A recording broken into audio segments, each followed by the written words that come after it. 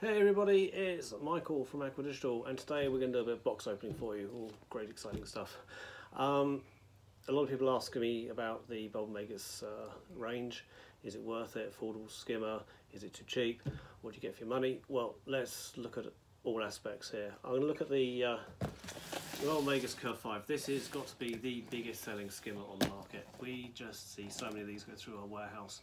They're rated up to 130 gallon, down, down to 80 gallon. Optimal is going to be 100 gallon, which falls right in the range of the average uh, hobbyist tank. Uh, you can YouTube as much as you like and look online uh, videos of how much gunk these uh, babies kick out. It, it's just phenomenal. They've been around for the on the market for quite some time now. They've got good pedigree behind them.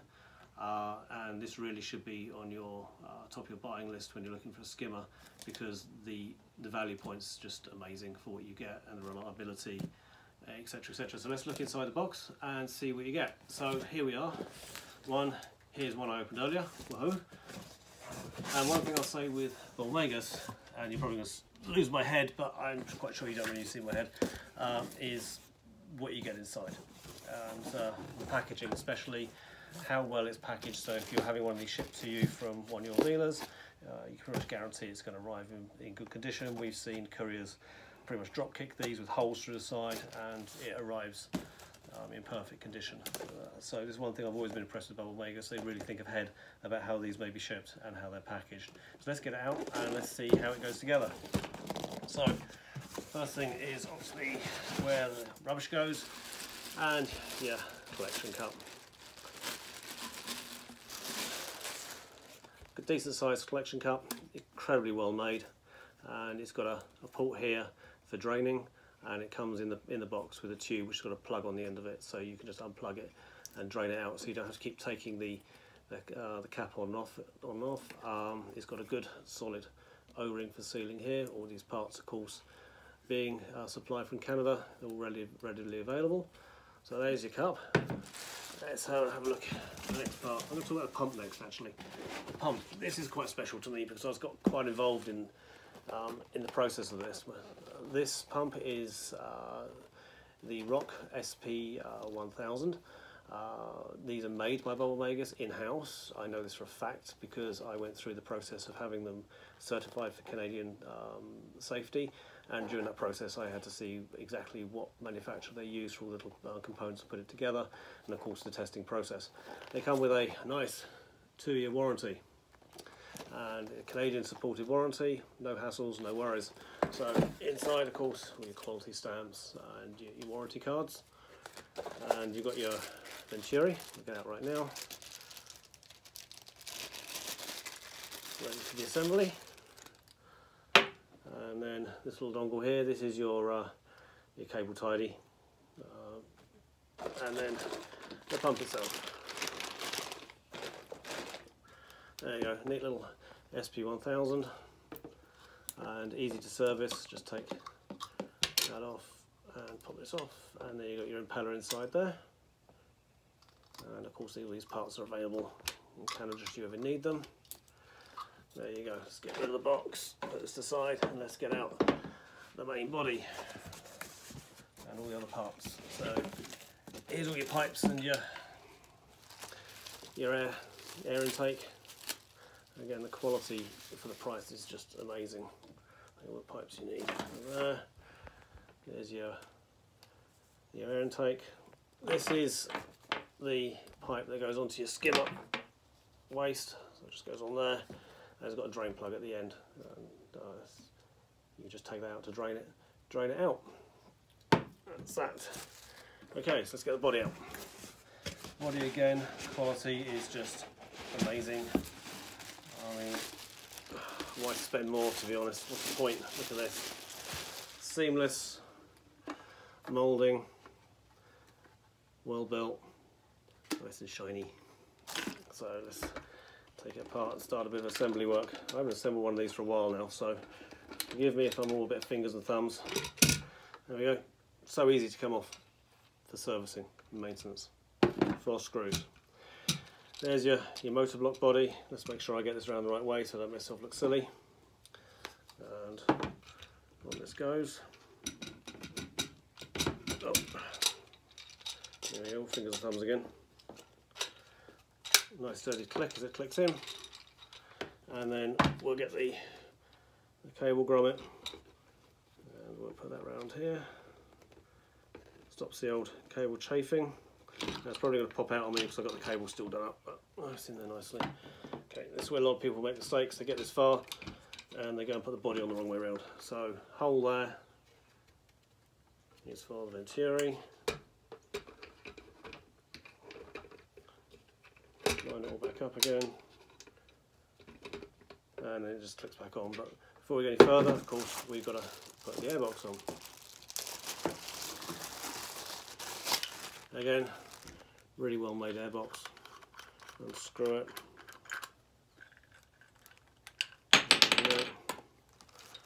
This then plate goes on through here, screws down like that. Going the right way, Michael. And this goes on like that. don't ever over tighten it because you don't want to crack it, there's no need to. It's all nice and tight, just finger tight. tight's all you need. Okay, now providing it around the right way, we should be able to get the, this on. Just line up all the bits and pieces. Yes, you probably noticed the bungs fall out, but that's for the cable, but that's just because I am not undoing the the actual cable itself. There we go. Clamp it down, press it down, on. Get that in there like that.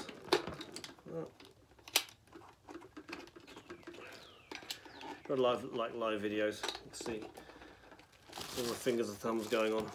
But that's only come out because of I haven't undone this. There's not enough cable ready for it to get in the way. What's next? Your Venturi goes on there. Or your volute, your Venturi.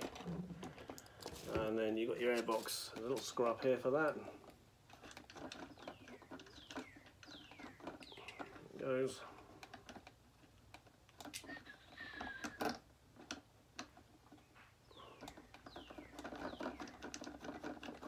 Screwdrivers I can cross-edge screwdrivers it up tightly, but just for here, that's enough. There you go, and then put your pipe on.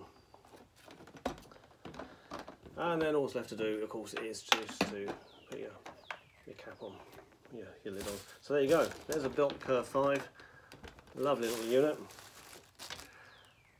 Perfect for your uh, 75 gallon uh, plus tank uh, affordable, really well built, available in uh, across Canada, and very easy to set up.